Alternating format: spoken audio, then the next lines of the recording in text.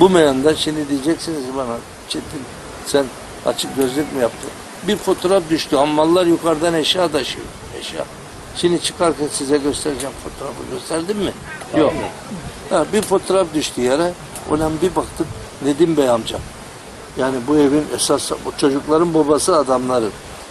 Bize buradan bağırıyorduk aşağıdan. Burada yüzüyorduk biz. Kırık dökük bir iskele vardı.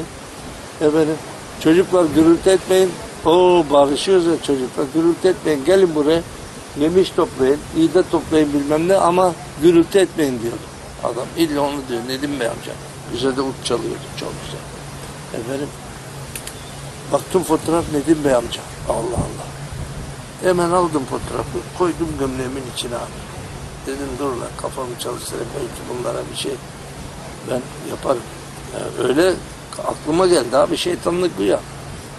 Efendim karşıda camcı var. Ayvalık'ın tek camcısı zaten.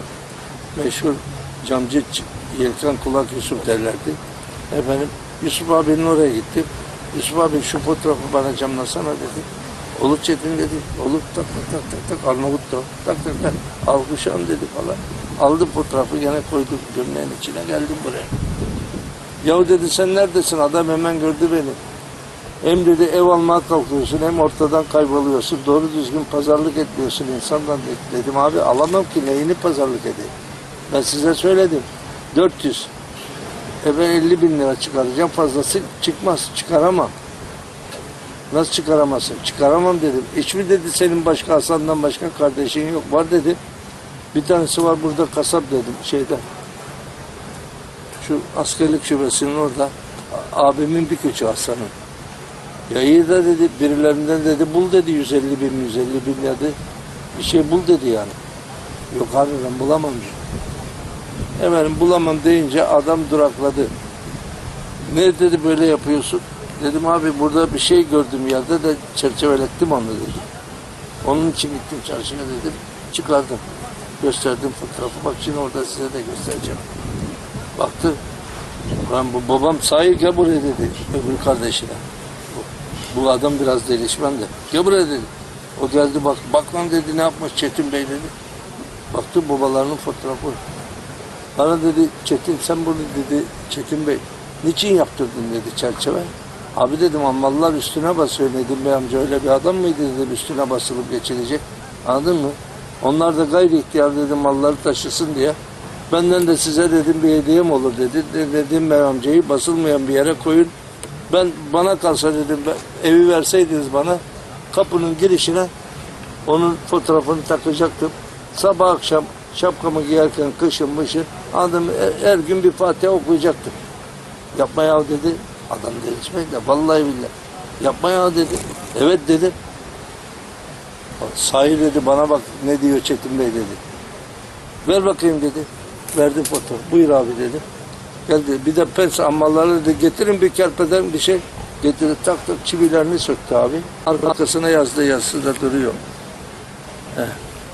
Çetin Bey kardeşimize çoluğunla çocuğunla iyi günlerde oturulmak üzere, oturmaları üzerine efendim hayırlı uğurlu olsun. İmzala Fahir dedi kardeşine. İmzala. Sahil sen de imzala. Hadi bakalım dedi. Nereye asacaksın dedi. Gittim abi kapının yanına göz açıyor. Çak çak çak çak astım fotoğrafı. 40 senedir orada duruyor. Sağlıklarında çok geldiler. Burada doğdukları odalar burada. Büyüdükleri yattıkları orada. Çok geldiler ama ikisi de artık rahmetlik oldu. Her geldiklerinde vay be dediler Çetin. Bizim evimizde bu fotoğraf böyle durmuyor dediler. Anladın mı? O zaman o pazarlık esasında ne kadar dedim var? Dedim abi 450 bin lira para çıkıyor. Çıkmıyor başka bak. Bisikleti sattık, bilezikleri sattık, altın zinetleri var sattık. Ya ne varsa ufak tefek bakır eşya, bakır eşya hepsini sattım abi.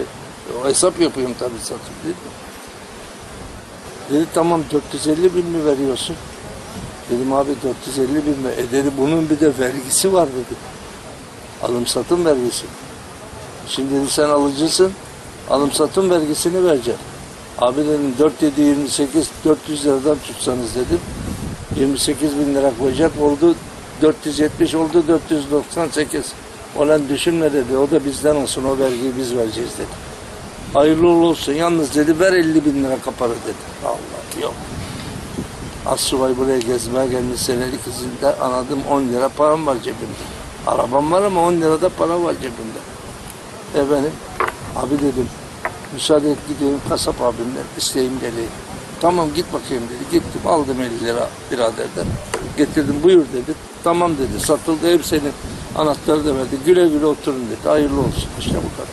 Kapıya, sonra kapıya mı gittiniz? He? Kapıya mı gittiniz sonra? Yok. Tapuya sonra şeye verdi ya yeğenlerine. He, Vekalet vardı yeğenlerine.